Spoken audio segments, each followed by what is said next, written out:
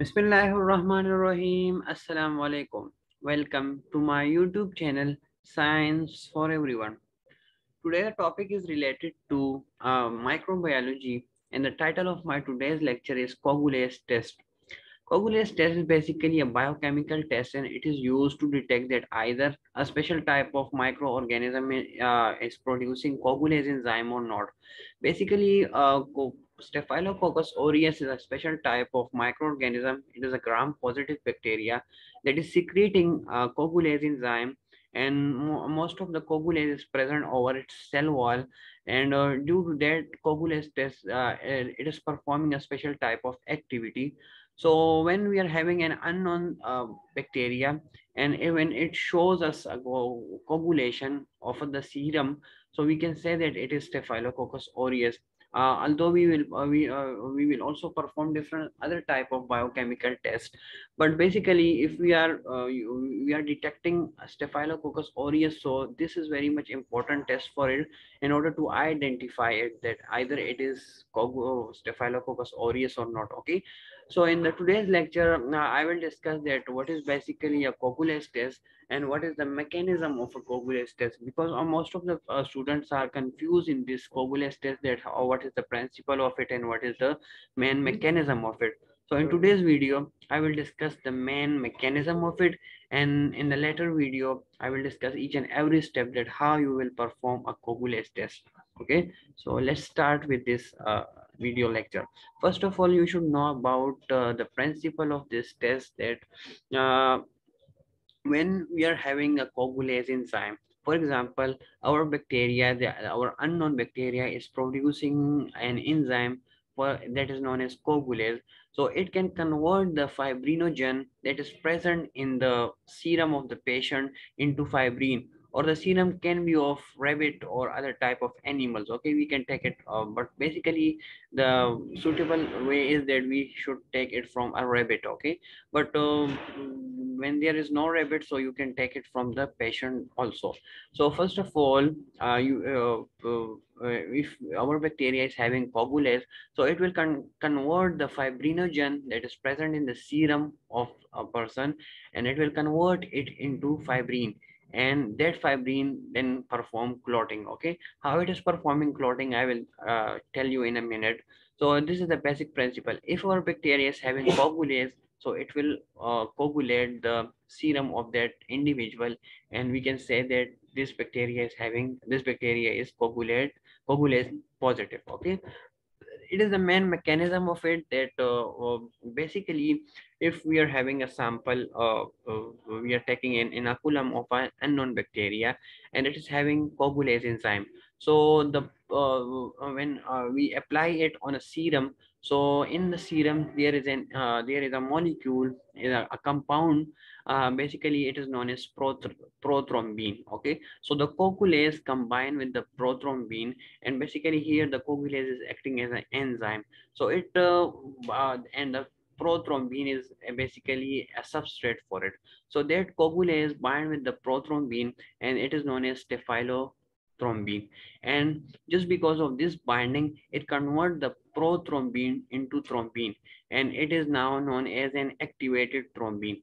Basically what is thrombin? It is then uh, it converts it into a special type of enzyme. And that enzyme is basically known as fibrinogenase okay? So what happens that there uh, it's the, the thrombin that has been activated from the prothrombin uh, structure so when it activated so it acts as a protease and it it acts as a protease and it converts the fibrinogen that is present in that serum into fibrin okay? And fibrin have the active um, the ability to clot with each other okay? So if we are having different type of uh, many type many fibrin in our serum so they can clot together and it can form a clotting factor okay? It, it can perform a clot. So just look here this is the structure of it. For example we are having a fibrinogen okay? And now due to the coagulase enzyme the throm the prothrombin that is present in the serum is converted into thrombin. And just because of this thrombin the fibrinogen is converted into fibrin just look here these uh, black color arrows uh, the uh, it is removed from this fibrinogen and this the removal of this fibrin uh, this black arrows is basically the conversion of fibrinogen into fibrin and when it is converted into fibrin so different fibrin can then uh, bind to each other and it can uh, it can cause coagulation and it can uh, it can form clots okay? So this was all just because of the coagulase enzyme okay? Because the coagulase enzyme activate this thrombin okay? That was present in the serum okay? First it was prothrombin as i have told you and the you know, the introduction of that coagulase enzyme this prothrombin was converted into thrombin. And just because of this thrombin the fibrinogen was cleaved and it was converted into fibrin and then different uh, all the fibrin that all the fibrinogen that were converted into fibrin then the fibrin can uh, clot with each other. That can they can attach to each other okay? And they can form a clot okay? So just um, smart thinking when if there was no coagulase enzyme so there will, will be no activation of the prothrombin into thrombin the conversion of prothrombin into thrombin and there will be no uh, conversion of fibrinogen into fibrin okay? So and there will be no clumping uh, of that fib fibrin so this was all just because of this coagulase enzyme. So uh, honestly speaking that coagulase enzyme is uh, acting uh, indirectly okay in the coagulation of the uh, in the formation of the fibrin it is not contributing directly and it is not uh, directly uh, cleaving the uh, cleaving the fibrinogen into fibrin it is just giving a helping factor and it is activating this prothrombin it is activating this prothrombin into thrombin and after that this thrombin can then convert the fibrinogen into fibrin. So it is acting indirectly okay? I'm writing indirectly. So keep this keep this concept in your mind. It is not acting directly. It is acting indirectly. So in this test this is the basic mechanism and this is the basic principle. So a microbiologist should know about it that what is happening inside this test okay? So uh, just because of this coagulase enzyme clumping can form and, and uh, this all process hope you have understand it okay? So uh, now we will come to the actual uh, procedure of it that how you will perform the coagulase test. So first of all keep this thing in mind that um, uh, staphylococcus aureus some of the strain uh, have two type of coagulase enzyme. One is bound coagulase uh, bound coagulase is basically when the coagulase enzyme are embedded in the uh, in the cell wall of that uh, bacteria okay? In the cell wall of that bacteria and it it could not be secreted outwards okay extracellularly. So the bound uh, coagulase is basically mean this means that it is embedded in the cytoplasm uh, sorry in the cell wall and it is acting from there okay? So for bound coagulase uh, we should uh, conduct slide test what is slide test? I will now show you in a minute okay? And the other is free coagulase. Uh, some strain of staphylococcus aureus secrete uh, coagulase extracellularly okay? So for this uh, free coagulase we have to perform tube test okay? So keep this uh, view in your mind and it is also important for the mcq that for bound coagulase we will perform slide test. And for, for free coagulase we will perform tube test okay? Okay so first we will discuss the slide test. So this is the procedure of it. First you have to take uh, the blood from a, a volunteer okay? Uh, for example you are working in a uh, uh, you you you uh, your examiner asks you that conduct a coagulase test. So you can take the blood from yourself or you can take it from your friend okay as a volunteer okay? But uh, keep this thing in mind. The best thing is that we should take rabbit uh, serum okay? Rabbit blood uh, it is uh, necessary. After that what we will do we will place the blood in a vial and after that we will centrifuge it and we will take the plasma okay? The plasma consists of the coagulase enzymes and all other such type of uh, sorry the thrombin and the fibrinogen okay? So we will take the plasma of it uh, just because of the separating the plasma from the blood, red blood cell, we perform the centrifugation. After that, we will take uh, this, uh, the, the plasma, the serum from that uh, with the help of a uh, adjuster or with the help of a knee, uh, syringe, and we will uh, pour three drops of three drops of serum on a slide After that, we will take an inoculating loops. There are different type of inoculating loop. There must be wire type, uh, this uh, iron type, and we are also having plastic type that is disposable iron loops. We can use it for only for one time. So these are the inoculating loop. We will the uh, first we will then uh, sterilize it. Auto uh, we will just place the inoculating loop over the flame. Okay, just to kill all the microorganism that is present on its surface just to um, uh, just to take a clear result from it. So we will uh, heat it up red hot it and after that we will take a colony an unknown colony. We don't know that either it is coagulase positive or negative so we will take an unknown colony okay? I have told you that it is just type of uh, plastic inoculating loop okay? So it is it is possible we can use it one time. So we are taking we will take an uh, colony from it and then we will we will rub it over that serum okay? Uh, uh, in a clockwise direction or in anti-clockwise direction.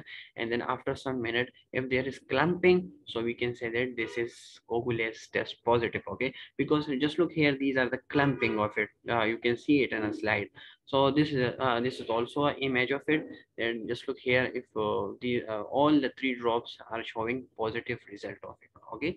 So this these all are coagulase positive okay? Uh, if you look here to it in when you are working in a laboratory so you should take a control with it with it and a control is basically water and water does not consist of this thrombin and this uh, fibrinogen. So uh, you have or you should uh, you should uh, place the inoculating loop over the test also and then on over uh, you can mix it with the water. So actually uh, we have to compare both the results of it. In the water there is no coagulation. So and if we are having coagulation in the test organism so we can easily say that either it is uh, it ha have performed it has done Clamping has been performed or not okay? So just because of it we take the control. Um, after that this is here is the tube method. So tube method is all the same as the slide method but here we will use uh, glass tubes okay? We will use glass tubes. First uh, here what we will do we will take the serum okay? We will take the serum uh, from the patient uh, as just like the blood and after that uh, centrifugation and then as i have discussed in previously and then you will pour it then you will pour it in the oh, oh, oh, okay so you will pour it in the uh, glass tube. After that all the procedure is the same as i have discussed it. You will take inoculating loop you will heat it up and then you will take a, an unknown colony and then you will dip it into the uh, glass tube. And then you, after um uh, uh, after uh, 10 or 15 seconds you will see the result. So just look here this is a comparison of it. In this slide uh, in this glass tube there is no coagulation so it is clear. And here is a coagulation so you can compare it uh, with the both slide glass tubes with each other. Just look here this is an another image image of the coagulation when we are performing coagulase, uh, tube coagulase test in the laboratory. So here we take three glass tubes uh, and we add 0.5 milliliter of diluted rabbit plasma. Uh, keep this thing in mind. Uh, the plasma that we have, we are taking from a patient or for a, from a volunteer or from a rabbit. So first you have to dilute it because it consists of high amount of different other proteins. So then it can give us too much turbidity and too much uh, other such type of results okay? So first you have to uh, uh, dilute it. And in the um, in the glass slide test there is no dilution okay? But in the tube test you have to perform dilution. So keep these two things in your mind that here will be the dilution uh, serial dilution. And there in the test uh, glass test uh, glass test uh, slide there will be no uh, uh, this dilution so you have to take 0.5 milliliter of uh, diluted rabbit plasma, uh, rabbit plasma, uh, and after that you have to take uh, um, uh, 0.1 milliliter of test suspension. Here will be 0.1 milliliter of non-staphylococcus aureus. Non here this means that it will show positive result and here will be a sterile both. No no inoculating will be done okay? So here we will take we will uh, inoculate the test tube okay? And we will know that this uh, the colony that we added uh, to this tube we will know that it is staphylococcus aureus and it is producing clumps okay? So this this is just because of uh, for the comparison of it okay? Here we will take uh, uh, we will uh, we will perform no inoculation and here here we will take the test suspension okay the unknown bacteria. And after that we will uh, check for the result okay? So here the test or uh, when it is uh, uh, positive so it will perform coagulation okay? And if it is negative so it will perform no coagulation okay? So you will invert uh, just a little bit invert the test tubes okay? Just like this okay just like this you will invert it. So if it is just like a lumpy type and uh, uh, uh, a little bit lumpy lumpy type and there are small dots so you can say that there is coagulation and if it is free moving it is moving freely so you can say that it uh, there is no coagulation there you can also detect the turbidity of it. If the uh, uh, the tube is turbid so you can say that there is coagulation. And if there it is not uh, turbid so you can say that it is freely. But the best thing is that you have to invert the test tubes and you will see the mobility of it okay? So if it is highly mobile so you can say that there is no clumping and no coagulase uh, uh, it is coagulase negative and if there is clumping so you will say that it is coagulase positive okay so this was all about the coagulase test. Um, i think you have understand it well about the principle of it about the main mechanism of it. So these two slides are very much important especially this slide because you should know about the real mechanism of it that what is happening inside it. After that all the um, the, the procedure can be done by any person who is working in the laboratory. But the main mechanism is this one okay? So hope you have understand it well. If you have any question in your mind so you can ask me in the comment box. I will answer you there. Thanks for watching. Thank you very much. God bless you